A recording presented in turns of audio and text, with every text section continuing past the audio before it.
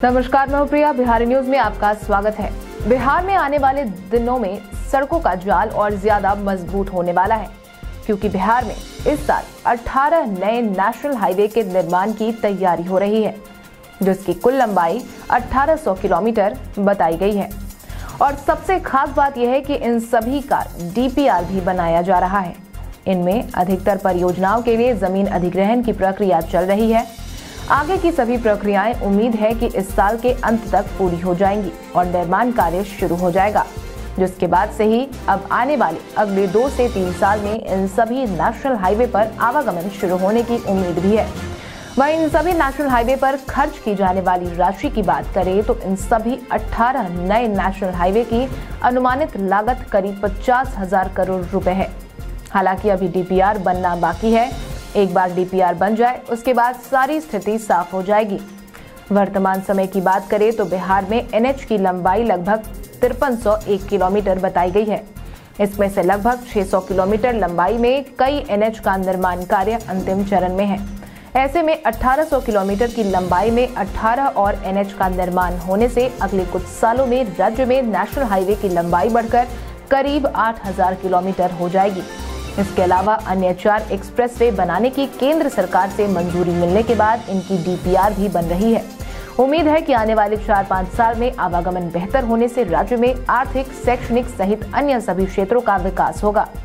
हालाँकि अभी 107 किलोमीटर लंबे रजौली से बख्तियारपुर फोर लेन में करीब 6.66 किलोमीटर लंबाई के लिए वाइल्ड लाइफ की मंजूरी लंबित है, जिसके बाद ही अब पटना रिंग रोड में कन्हौली से शेरपुर तक ग्रीनफील्ड सड़क करीब 11 किलोमीटर लंबाई में बनेगी। इसके लिए राज्य सरकार ज़मीन उपलब्ध करवाएगी। दानापुर शिवाला बेहटा में करीब तेईस दशमलव पाँच शून्य किलोमीटर लंबाई में एलिवेटेड रोड बनेगा। इसकी डीपीआर अप्रैल 2022 तक बन जाएगी। चोरमा से बैरगनिया तक करीब 35 किलोमीटर लंबाई में सड़क बनाने के लिए डीपीआर बन रही है। पटना आरा सासाराम तक करीब 118 किलोमीटर लंबाई में फोर लेन और सिक्स लेन सड़क बनेगी। इसके लिए ज़मीन अधिग्रहण का काम चल रहा है। वहीं अगर हम बात करें कि इस साल किन किन नेशनल हाईवेज के निर्माण कार्य को शुरू किए जाने की योजना है तो उसमें पटना से Bakhtiyarpur four lane, Bakhtiyarpur Mokama four lane, Arrah Mohania four lane Bhojpur Buxar four lane, Bhojpur Koilwar four lane, Patna Gaya Dobhi Mokama Munger four lane, greenfield, Deoria से अदलबाड़ी सड़क, Manikpur Sahebganj four lane, Sahebganj Areraj Bettiah four lane, Siwan Mashrak four lane, Kanhauli Sherpur greenfield सड़क, Danapur Bihta elevated road, Chorma Bairgania सड़क, Patna Arrah Sasaram four lane, Rajauli Bakhtiyarpur four lane, Umgaon Saharsa सड़क Muzaffarpur, Barauni four lane, Bahadurganj से Kishanganj four lane, Buxar Varanasi four lane, Buxar Varanasi, Matiyani, Shamho सड़क, मुजफ्फरपुर, डुमरिया सड़क, भरौली, हैदरिया सड़क शामिल है।